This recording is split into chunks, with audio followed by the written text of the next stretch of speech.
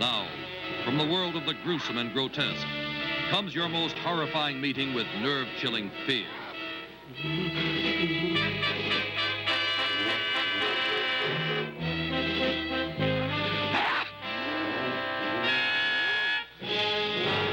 It's an unbelievably terrifying experience. But you must see all this for yourself, if you're brave enough.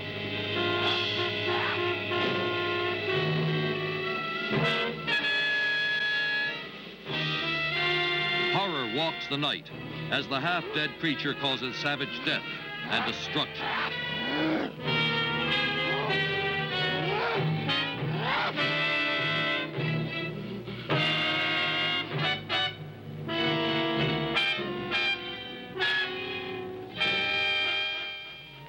One promising result of this phase of the experiment is that the pernicious side effects of chlorophyll on the body itself have been arrested.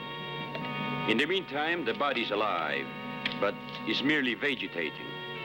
It cannot be activated without a guiding intelligence, which cannot be provided by a mechanical device.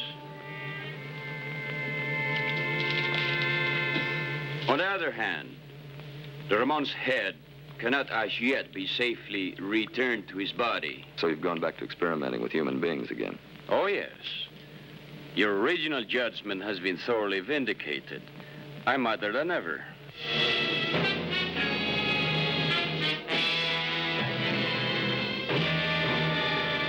You'll see an orgy of bloody terror as a mad fiend transplants human heads in the cave of horrors.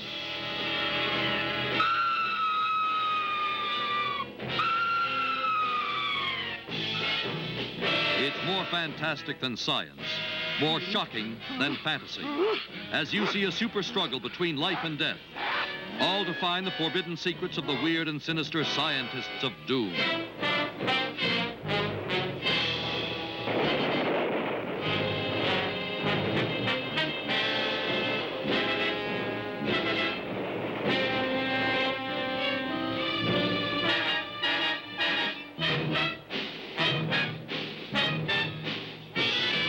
You'll never forget the creature without a head, controlled by an insane artificial brain.